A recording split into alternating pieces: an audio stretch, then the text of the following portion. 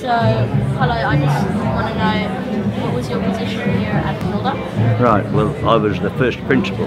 I started the college in 1967, in September 1967, with only um, 23 or 24 children who were going to go on to high school after a year of preparation after coming in from the bush. So, um, and I stayed here for nearly five years, so I ended 19... 1971. So I was here from 1967 to 71. When we started the buildings, started using the old army buildings that were here and the Qantas buildings and, uh, and got them useful and got the children settled in who all came from cattle stations and settlements and missions around the territory. And they'd never lived in houses before, most of them.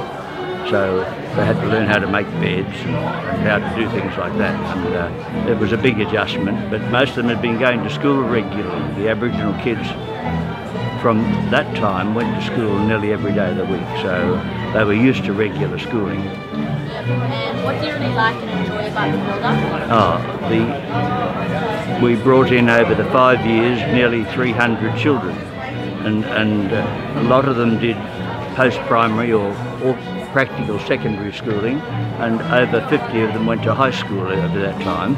And, uh, and uh, I was very proud that kids who'd come from the bush, hadn't had much experience, uh, and never lived in the city before, could go to high school and, and get on in life a bit. Yes. Right. So that was one of the most pleasing things.